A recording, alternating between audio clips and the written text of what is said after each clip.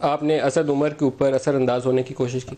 سوال ہی پیدا نہیں ہوتا اور اسد عمر صاحب جو ہے وہ خود فیصلہ کرنے والے آدمی ہیں اس کے اوپر کون اثر انداز ہو سکتا ہے؟ کیا اس وقت یہ دباؤ ڈالا گیا کہ ای سی سی کے اجلاس کے اندر شوگر مل ایسوسیشن کا نمائندہ بٹھاتے ہیں اور وہ آ کے بتائے گا؟ بھائی جان کوئی اس طرح کا کام نہیں ہوا۔ میں نے کبھی اسد عمر سے چینی کے ٹاپک کے اوپر بات نہیں کی۔ میں نے تمام ای سی سی کے ممبروں میں سے ایک سے بھی بات نہیں کی۔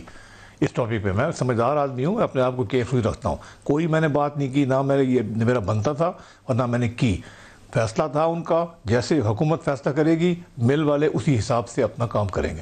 یاد رکھیں، بیس پرسنٹ ضرور میرا میرا شیئر ہے مارکیٹ شیئر مگر میری چھ ملے ہیں، چوہتر اور ملے بھی ہیں۔ ان سے تو جا کے کبھی ان کا بھی پوچھ لیا کریں، میں ایسوسیشن نہیں چلاتا۔ ایسوسیشن کے انڈیپینڈنٹ لوگ ہیں جو الیکشن سے آتے ہیں۔ ان سے کبھی ان کو بھی بلا کے پوچھ لیں۔ آپ نے خیال آج ٹی وی ٹی وی پہ وہ آ رہے ہیں، اپنے آپ موقع پہ بیان کر رہے ہیں۔ تو یہ اچھا ایک اور بات یہ ہے کہ شارٹیج نہیں تھی۔ ایک ملین ٹن کا صرف پنجاب میں سٹاک موجود تھا، جو میں نے آج کین کمشنر سے پوچھا ہے۔